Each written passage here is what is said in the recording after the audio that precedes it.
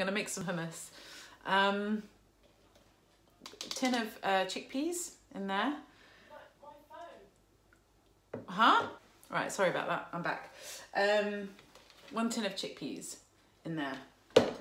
Uh, this can be. Uh, it doesn't have to go in a in a whizzer like this, but I've decided to make it really smooth today. Um, sometimes I do it with a stick blender and leave it a bit grainy, which is nice. But um, but no, today I'm going to make it smooth.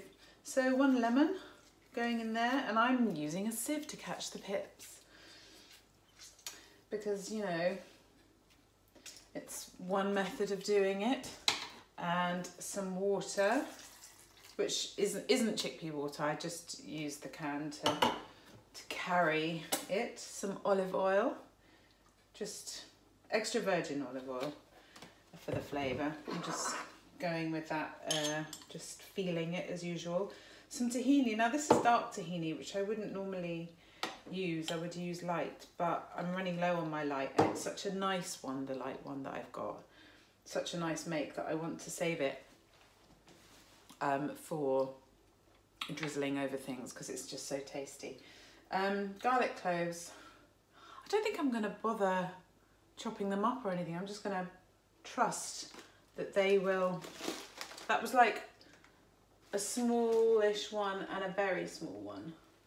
So i.e. like one big fat one.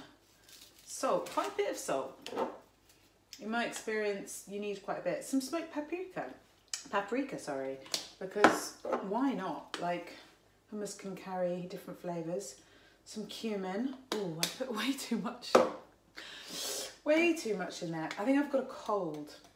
So, um, I was going to say maybe that's why I'm a bit, but I think no more than usual. But the garlic will be good for the cold.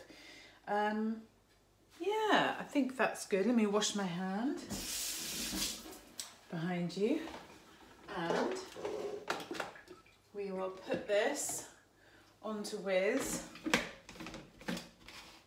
Now, I'm gonna, lemon pip in my jumper. I'm gonna whiz it up and um, then taste it. So I stopped it because I thought it looked like it was struggling and it looks actually perfect. But let's taste.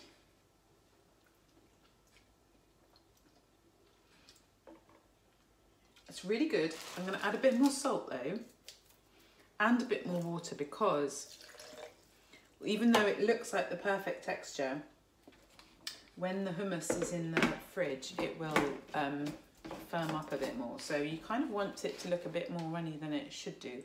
Flavour's really good though. In fact, I might add a bit more olive oil as well because the flavour of olive oil in hummus is really nice.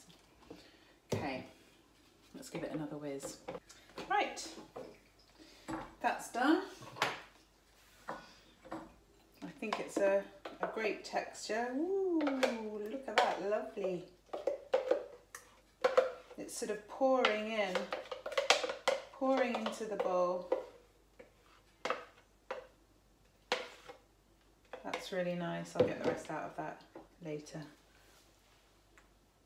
You could always, let's do it. Let's not just talk about it. Dust a bit of whoop, paprika and drizzle a little olive oil.